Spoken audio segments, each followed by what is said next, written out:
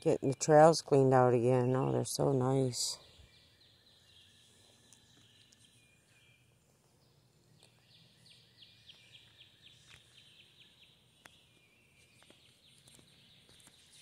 All the moss. We're going out for a little walk. We'll change the camera and put it up back out in the woods because I'm getting the same stuff. But I did get one night where it was cleaned last night, so yeah, it's beautiful.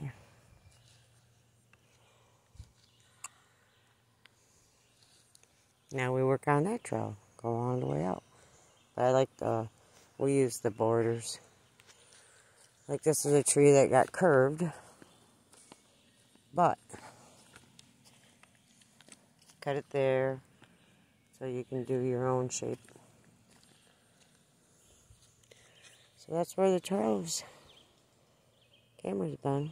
Now we're going out that way, swamp.